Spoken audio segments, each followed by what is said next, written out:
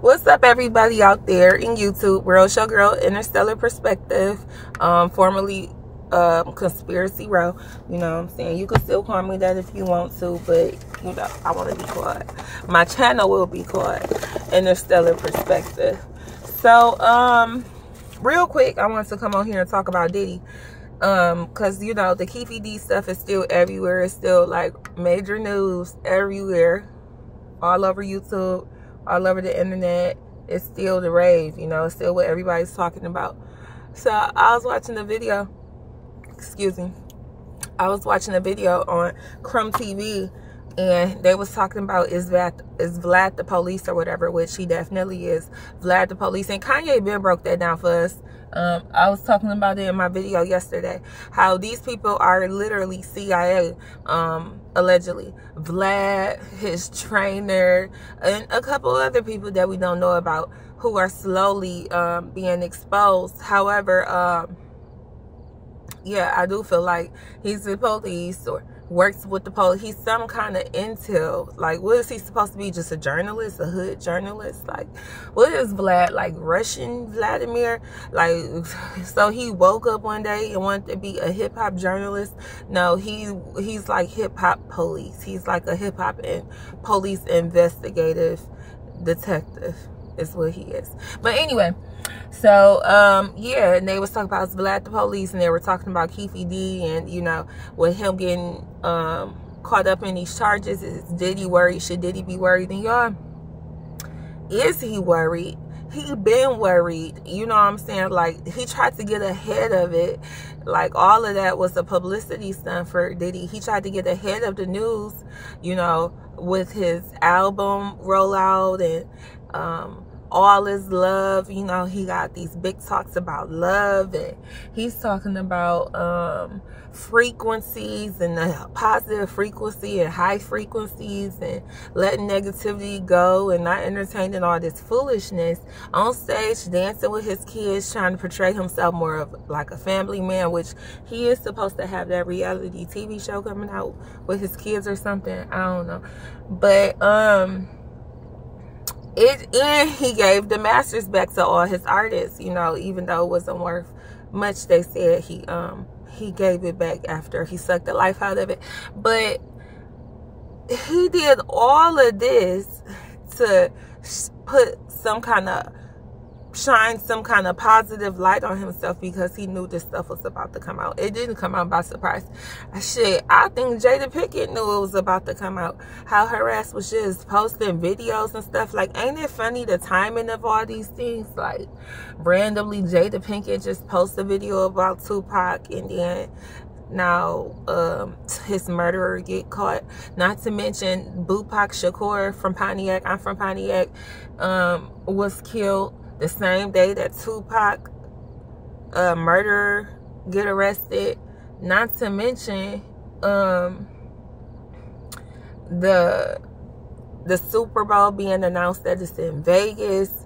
You get what I'm saying? Not to mention Usher is going to be performing there, and we all know Usher was groomed by Diddy. Uh, you get what I'm saying? Like it's crazy. And um, just on the sidebar, like we do always talk about like Illuminati this, Illuminati that, and yeah, they may have a hand in some stuff, but they not all powerful and they not all knowing. And what we really may be witnessing is like for real is is a quantum. It's like a quantum collapse you know like all of these energies just pulling together and entangling. It's like literally entanglement right with jada. And it's like it, it's all have something to do with each other. Like it's all connected like it was all supposed to happen this way.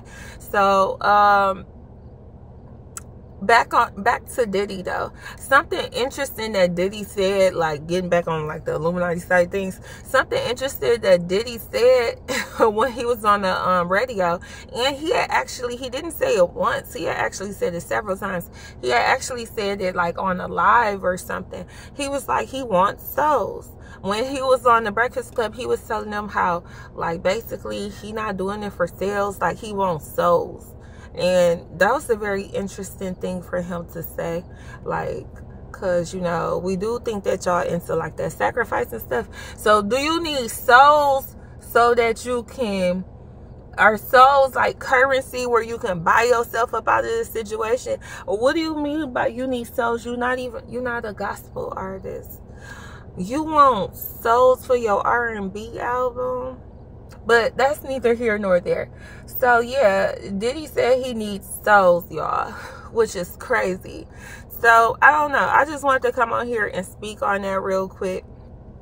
I'm definitely going to come back and do like a real video, like a full live where we can really, really get deep into it. You see, I made a whole list of stuff I want to talk about um, when it comes to these words, like the origin, what are words, the origin, um, the etymology, um, the stuff with Tupac and Bupac and the gematria. Shout out to LOD versus the internet. And what all this have to do with 50 years of hip hop, with Tupac being like a, a staple in the hip hop community, and how all these things are quantum entangling, um, how all these words are like, or all, yeah, how all these names or words are are attached to a number and or attached to a frequency which is attached to a number you know and how they use it to program us. Um, i also have a book at home that i want to share with y'all. It's called soul contract decoded.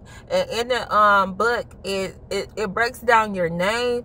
Like it does it just like gematria to be honest. It breaks down your name and it um into numbers and then it comes up with the number and it shows like based off of your name, what was your soul contract? So it's like, what's in the name, you know? Um, so yeah, we got to come back and do all of this to talk about, because there's some real deep stuff going on, you know? But this Tupac stuff is really interesting, how they just harvesting on his energy from Jada Pinkett to shit. At this point, Will Smith, I don't, I don't doubt that Will Smith not in on it anymore, allegedly. Like, Cause come on, you so you just cool with it. You ain't left her, you ain't checked her, you just smacked everybody but her. But you well, we just gonna leave that alone. Diddy, it seemed like he kind of feasting off this energy. Like even with him putting out the album of all things around this same, I don't know. It's just weird. But we gonna come back. we gonna chop it up. we gonna talk about all that. So I love y'all. Don't forget to like, comment, and subscribe if you're not a subscriber. And I'll talk to y'all later.